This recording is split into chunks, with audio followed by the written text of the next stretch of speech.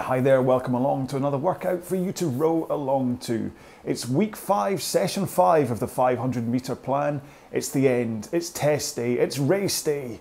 So, yeah, so this is me just about getting to the warm up ready for the British Rowing Indoor Championships. It's uh, run about 10 past 11 in the morning, the race is at 11.32 and it's freezing today. So if you can hear background noise, that's my fan running. It's basically uh, freezing outside at zero, um, and uh, it's very, very, very, very cold in here today. So. Uh, yeah, so today's uh, just going to be a, a, nice long warm up. Uh, I'll have a counter up there just to kind of let you know where we're getting to in terms of the race, and then it's going to be the 500 meter race. I'll do the same as before, where I'll basically just run my race and then I'll just double that up to last run about three minutes so that uh, as far as you're concerned, you can row along with me. Okay, so remember this is a 500 meter test at the end, so it is absolutely flat out. Um, you don't need to follow me for stroke rate or anything, you're just going as fast as you can. But the warm up is just going to be a nice progression um, through, let's see, what is the time? Yeah, so it's seven minutes past 11, so I've got 25 minutes until the race. So I figure spend around about 20 minutes ish just kind of building up through various motions for the warm up. Okay, so let's get ready for that. Set up your drag factor first on your machine. Uh, I've done that already. I'm slightly higher than normal. I'm up at around about 140 instead of 130. Um, then go to your monitor and set it at eye height so you don't have to look up and you don't have to look down. And then finally the foot straps, set them where you would like for this kind of a race. Some people do tend to set their feet a little bit higher for a 500 meter race and like a one minute and things, but I'm still going to continue with the lace covering either the bottom lace of my shoe or in my case in socks so that they let me bend comfortably forward at the front. Raising my feet up too high in socks is actually quite uncomfortable. It's okay in shoes, but not in socks. So anyway, we're just going to start off at 18 strokes a minute. So here we go then in three, two, one, go. Oh, so I'm freezing cold, so I'm just going to go at a nice gentle pace here to try and just warm up a little bit. Like literally warm up a bit. Sorry to keep on talking about temperature, but it's kind of important as my muscles are freezing. Even the handle feels like ice. All right, so I'm connected to the machine, the laptop for the race and it's just come up with a please wait for further instruction screen. It kind of tends to just bing and bong the whole time. So, but what that means is that I've lost any sense of how we're doing for time right now because the monitor's shut off. That's okay don't have to worry, just rowing softly anyway. Hopefully, I'm not too far off 18 strokes a minute. And this way, I can just do it by feel, just increase stroke rates and pace as I go through this warm up to try and get warm enough for the race.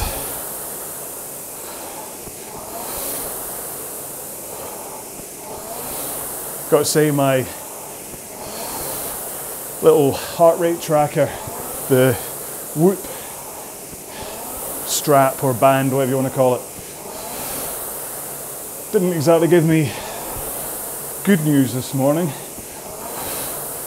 was like 20% recovered or 22% recovered my HRV was, I think it was down at 55. It's usually up at 155.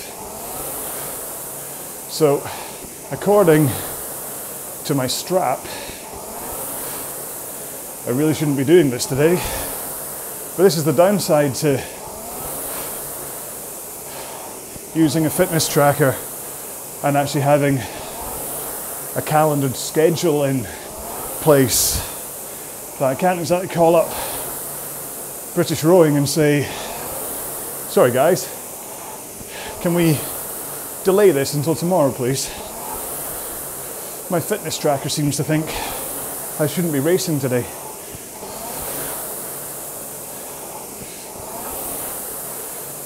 So we'll see how it goes.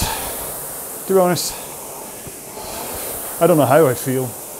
Don't know whether I feel energized or sluggish or I know I'm not looking forward to that kind of absolute intensity thing, but what's the point of entering a race if you don't actually prepare to race? Right, I'm gonna just take the stroke rate up a little bit, which I figure is going to be around about 20, but I still don't have a screen, so here we go, just a little bit faster. Just a bit more of a push from the legs. My fingers are actually getting cold as I move forwards because of the kind of the draft. Ah. We start thinking a bit about technique now that body's eased off a bit. So just think about right now. I want to think about how far forwards my slide is going. So I want to make sure to get to here on each stroke during the race. Shins vertical, primed, coiled, ready to spring back. Whereas if I take a shorter slide, I don't quite have that coiled spring. And then I was doing a bit of work yesterday trying to focus on this lurch that I have from my shoulders where I grab forwards. So I'm trying to work on getting in position and then holding my shoulders where they are and not having that kind of extra reach, which helps with the connection timing and hopefully the power transfer. Now, let's take three more strokes here.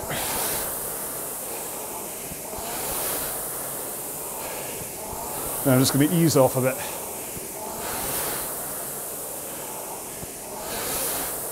Don't want to get too tired with my legs and arms. It's important that I'm firing on all cylinders, that the engine is ready to go right up to maximum. But at the same time, I don't want to use up half of the fuel that's available for the race by going on too hard and too fast in the warm up.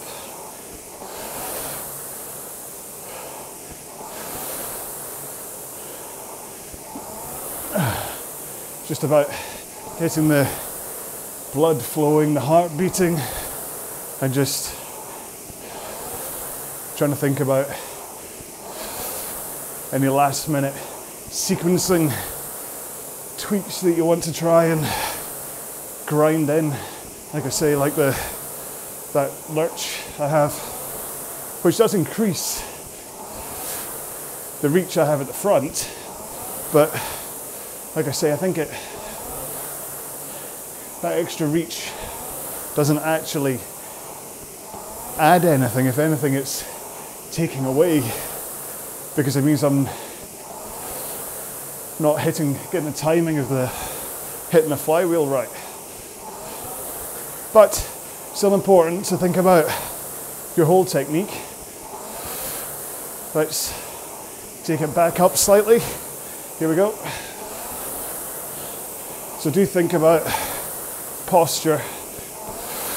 Make sure you're nice and powerful up in your sit bones. Leaning into that one o'clock position at the front and then holding that forward lean as you drive to get the power through.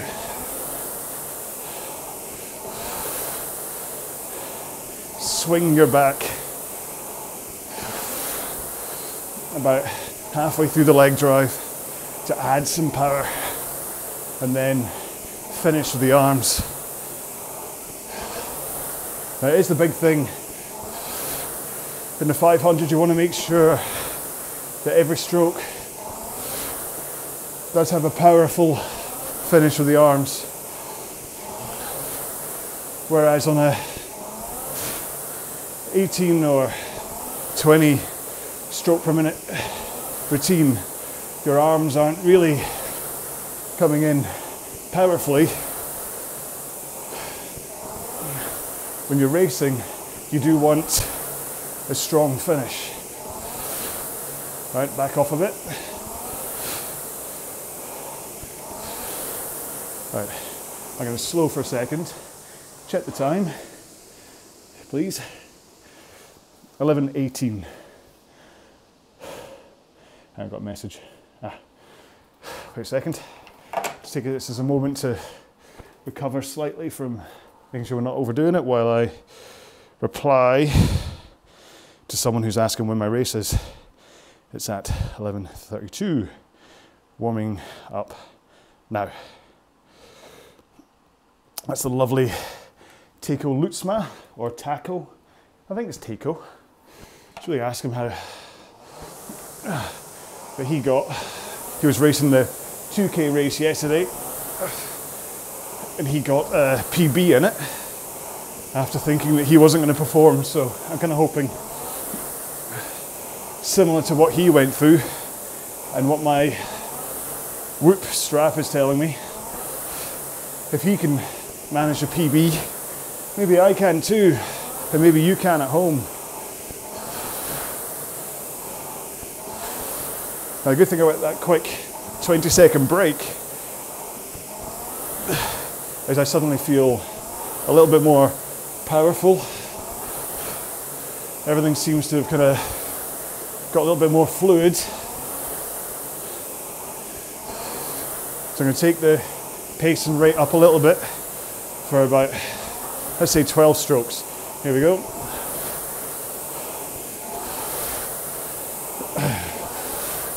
Bit more of a push from the legs. More of a shove to just get the stroke a little bit harder. One more. In all honesty, I don't know how many strokes that was.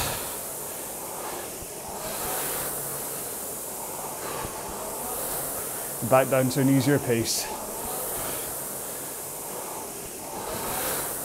Good news is I'm starting to at least get a slight glow on. A little bit of a sweat forming. Might even get to take my hoodie off for the race.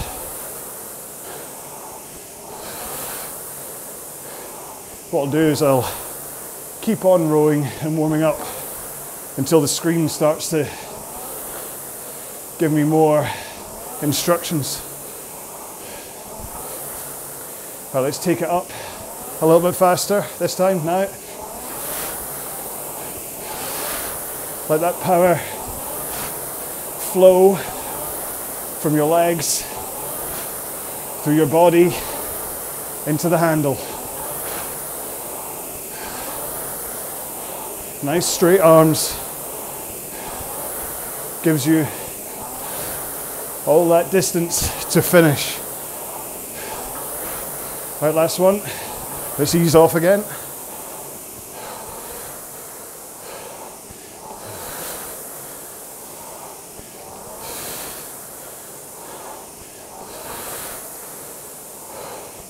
Make sure that when you actually do go up to 35, 40, 45, whatever your stroke rate is, it's not a total surprise that your body's used to having a bit of pace backwards and forwards. All right, 10 minutes to go.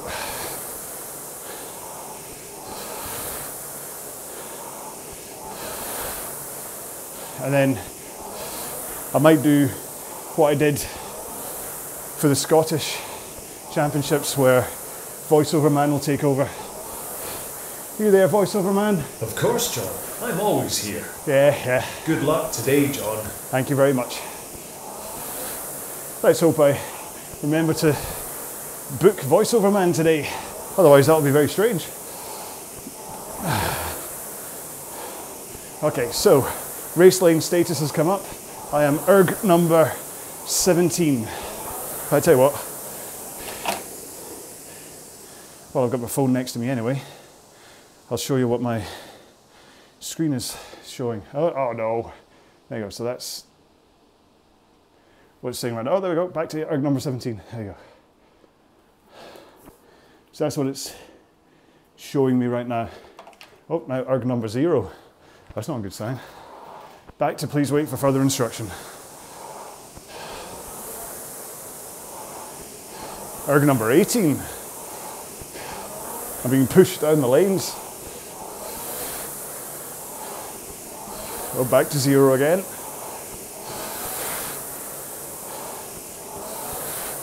I'm gonna kick it up after this stroke. So let's go even faster.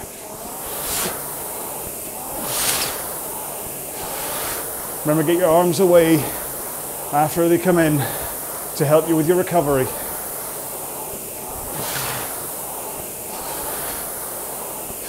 Let's do three more like this. And back down to 18.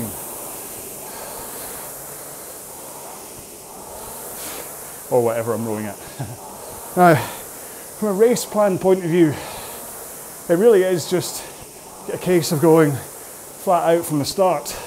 But you still have decisions to make. Do you try and work out how many strokes you're going to take and basically just close your eyes and count down like 60 strokes and see how you got on? Do you stare steadfastly at the monitor, looking at the meters go down, but knowing that that will help your posture slightly? If you've got a mirror slightly in front of you, do you just stare at that most of the time? Keep an eye on your technique. All these things, I mean, to be honest, all these options that you really don't need to think about. Right. There we go. So my monitor has just switched to something.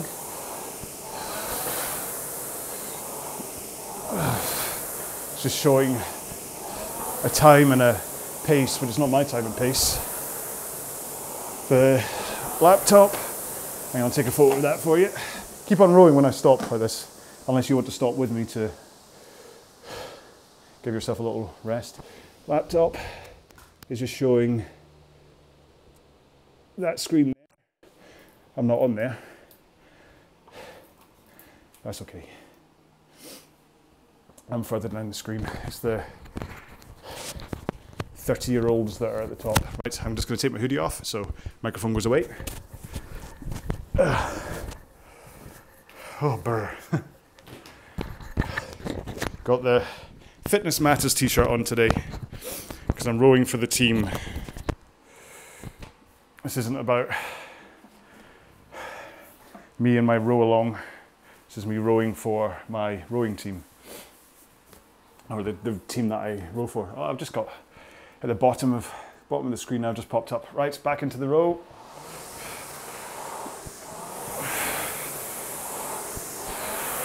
Right, so I've got proper screen up now. If I keep going, I'll take a photo of this too, let you see what I can see. This is what I can see in front of me. So drag factor is at 142. Hang on, unlock you so I can keep an eye on the time. 26. Six minutes to go.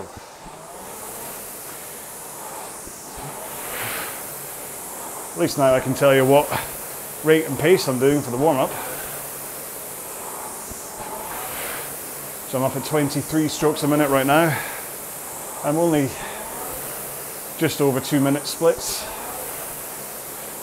Just taking it nice and easy. Let's do three more strokes and then ramp it up a bit more. Okay, so last stroke. Here we go, let's go faster. So I'm at 34 strokes a minute. And just at my 2k pace right now. Let's do three more.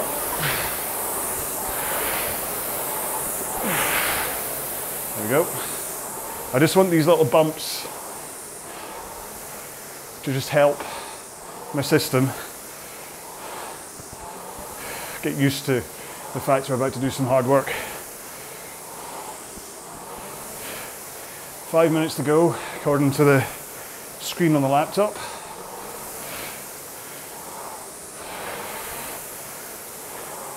So really, as we get closer, I want to stop and let my muscles recharge. So in three strokes, I'm going to do a really fast primer. So here we go.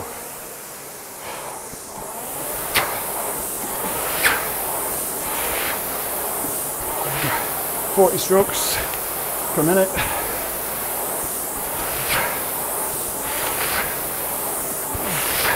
One more.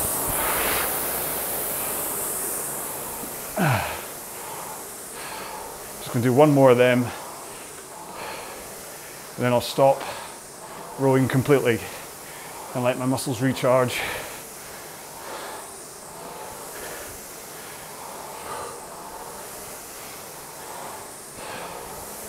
Don't worry about the actual paces you're hitting on these fast bits. You'll be surprised how much faster you go when the race start happens. How you're, especially if you do a fast start.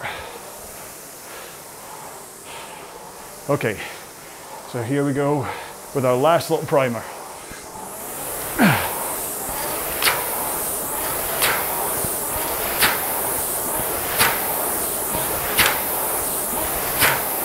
Three, two, one. My screen went blank then, so I couldn't tell you what I was doing. So just easing down. just to get ready. Right. Now, the counter's still there to now switch to tell you how long until the race. So you make up your mind. It's two minutes until the race starts according to the screen, but we'll see whether there's a delay or not. You make up your mind whether you want to stop, whether you want to keep on rowing a little bit through this and then stop. It's your choice.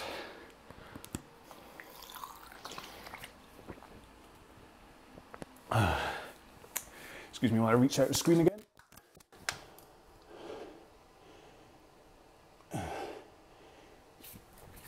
Just turning the sound on on the on my laptop hear it if there's anything to hear. Stop rowing. Prepare for start. Ah. That's good. There's a list of the amount of boats that are still rowing right now. And one by one, they're all stopping. There we go. Oh, number 12 is still going. Come on, 12, stop. Right. Get your head in the game. I'm going to take let voiceover man take over now, okay? Hi, voiceover man. Hi there, it's me again, yes. So, with the benefit of hindsight coming back and watching this, I know what I need to say. Now, first off, remember this is your 500 meter test and you have to go as hard as you can. I've left a three minute row for you. So no matter how fast or slow you are, once you're finished, just zip the video on to the end of that three minute row and you'll see my reaction to the end of the race. However, I will flash a card up at the point when I finish. Now remember to concentrate, to keep your mind strong, to think about your technique, and get ready to start. Come on, here we go. Ready. Okay, sit ready. Attention. We're going in three, two, one, let's go. Quick race start, three stabs at the handle to get the flywheel moving. Now, there's no on screen graphic yet, but in a few seconds' time, you'll see how I'm getting on in my race. Now, remember, just keep on pushing from those legs. There we go, there's the graphic. Keep pushing with the legs, make sure and finish strong with that handle. Now, my stroke rate right now is down at 42, and my pace is 131. So, this currently isn't going to let me hit my PB for this training plan.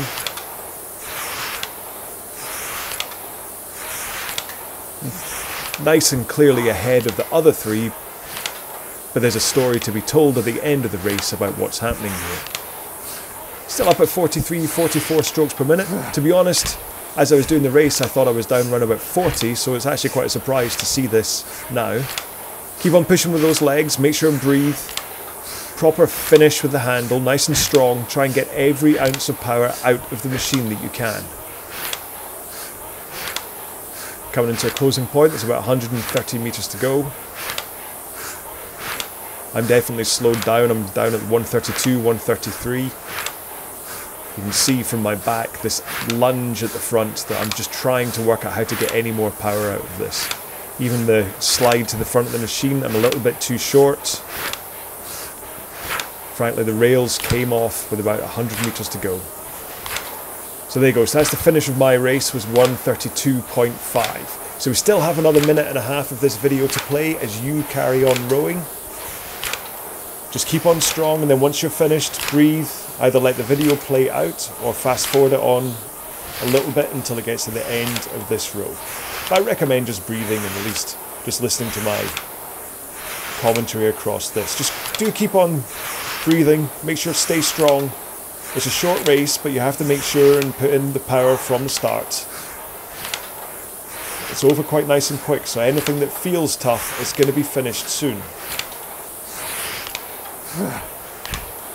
Almost there, we're about 40 seconds left to go on this. Keep breathing, focus on whatever you need to focus on, whether it's the monitor or straight ahead or your technique, just focus. Get out those last few meters, push hard with the legs, get that fireball burning. This is your big test at the end of all your training. This is when it all pays off. Just a few more strokes to go. Finish hard with that handle. Pull it in and squeeze those shoulder blades tight. All the training's been about today, so don't give in. Just keep on pushing. Push hard with those legs. Three or four more strokes to go, and that's the end of this video. And there we go. Ah, well,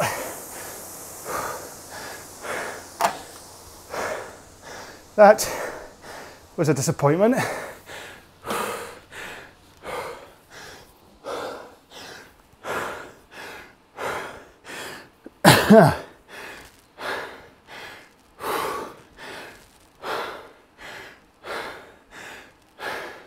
Slower than when I started five weeks ago. But I just, this thing's either right or it put my mind off my actual performance. And then now's the time to break it to you that I didn't make weight. So you can see on the screen, basically because I didn't make weight, um, I couldn't, wasn't eligible for a medal or anything, so that's why there was the four of us up at the top uh, that were just rowing. So the people that were not entered, I, I won, but I was 76 kilograms this morning when I woke up and as dry as I might even after doing a 5k row and things earlier on, I just couldn't shift the weight. So I had to email into British rowing people and say, sorry folks. But to be honest, I think when I look back at the actual race results, which I'll put up on screen, I don't think my 132.5 would have come anywhere near a medal anyway, so it doesn't really matter. It was more about me, and it just does show that sometimes all the training in the world, if you don't actually have it on race day, then you don't have it. So, anyway, assessment aside, let's get into a cool down. Oh, in three, two, one, go. Oh. Now, I saw my stroke rate was a lot lower than normal for this. I think I was in like kind of 40 most of the time, whereas at the Scottish I was up at 45. So there's that. And you can also tell just the very fact that I wasn't lying on the floor afterwards, I think shows it was a different race. But the important part, if you don't manage to hit a PB or win a medal or whatever, is that you analyse what might have happened. My energy system is obviously, according to Whoop strap and now that race, completely unrecovered. If I was at 22% or whatever, I was not primed for a peak day. Got it totally wrong. And then my actual performance, I think I was too low a stroke rate. When I watch it back, I'm sure technique would have been all over the place. But so the important part is to look at that and then learn and then take from it how to get faster. And that's the important part that you don't go, oh well then, that's me dead in the water there. You say, right, what happened? I think I had I hadn't refined the fuel in my tank enough. I wasn't running on rocket fuel. I think I was just running on like regular old two star with fumes coming out the back. Well, no, let's not say that.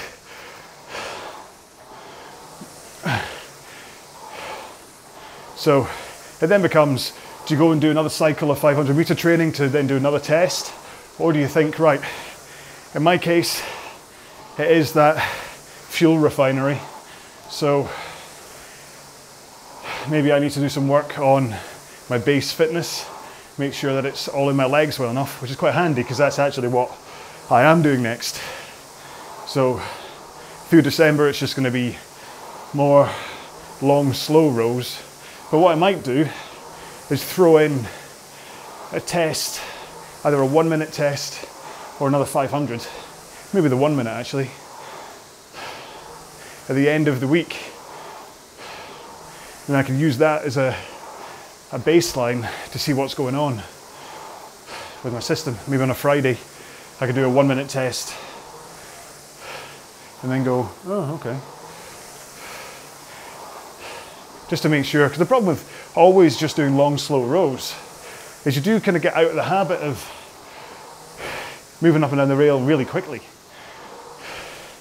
Which is why on the 500 meter plan, although we have three long, slow rows a week, we still have two faster ones. So you don't kind of turn into like a, you're really good at going slow. I'm stopping there. And I think as much as I was planning on doing like a 5k or something next or going for a session on the ski erg, I think I need to listen to my body, listen to my strap, and just take the rest of the day off. Spend time with the family, put up the Christmas tree, all that stuff. So, uh, a bit of a disappointing end to the 500 meter plan for me, it must be said. Um, but I don't want this to end on a downer. Please let me know how you got on with your final test. Um, in many ways, I kind of hope that what you take from today's, from my one, is just to show that you're allowed to not always be breaking the, the barriers of where you've been before. That sometimes you have to accept that step back that you can't quite manage what you hope for, but what you take from it is that you recalibrate yourself and you work out how you have to get faster rather than just sticking the machine on eBay and, and taking up golf instead, which is never going to happen. So anyway, I hope you enjoyed the 500 meter plan. Um, hang around, check out the other, the 2K plan, the 5K plan um, and all the single individual rows that are already up on the uh, YouTube channel and on the podcast. And of course, keep an eye out for the rows coming up through December, which will be longer, nice, slow rows. Um, hopefully, keep you interested and earning some meters for the, the holiday challenge. So, uh, leave comments, subscribe to the channel, uh, whether it's the podcast or YouTube. Thank you so much for spending the past five weeks training with me. I hope you did better than me. Have a great day. Be well. Bye bye.